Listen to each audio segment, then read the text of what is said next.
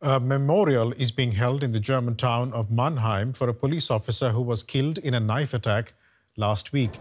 The officer was stabbed when he intervened as a man started attacking people at a rally held by an anti-Islam group. The attacker stabbed a total of six people before he was shot by a police officer and detained.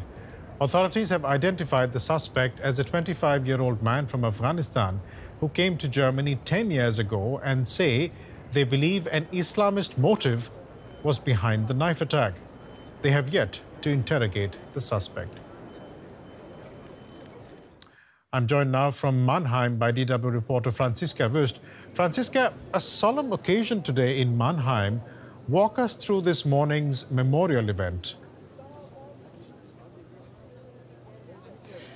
Yeah, this uh, day is dedicated to the police officer who died, especially here in Mannheim. I'm standing on the marketplace, the scene of crime from last week. Actually, right behind me, you can see several police officers remembering their dead colleague. They just came, and before that, we had a minute of silence. The Germany, uh, Germany's president came here to lay down flowers with um, the family members of the dead officer. It was actually not only a minute, but several minutes. I was standing in the middle of the crowd, and next to me there was a man. I saw tears in his eyes. So the mood here in Mannheim is very somber, as you can imagine.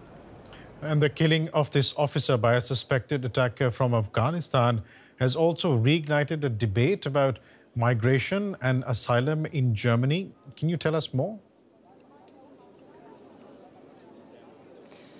Yes, exactly. This um, has triggered a huge debate in the whole country, actually because uh, the authorities suspect an Islamist motive behind the crime. So the debates are um, primarily about how to deal with Islamist extremists here. Should there be harsher punishments? Should there be harsher laws, especially regarding migrants who have come to Germany and commit crimes here? Can they, uh, can they be deported back easier to countries like Syria or Afghanistan, where this attacker is coming from? Because these countries are considered not safe. So this is a very, very tricky question politically politically, but also legally, and every case actually has to be assessed individually. And have police learned more about the possible motive behind this attack? So far, we can only say that they suspect an Islamist motive.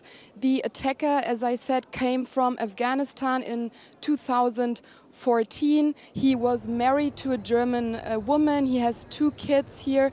He wasn't known to the authorities and um, actually was considered fully integrated. So basically, there are two big questions here now how uh, did he become radicalized? How can we prevent this in the future? And why did this happen? We'll leave it there for the moment. Franziska Wüst reporting from Mannheim. Thanks so much.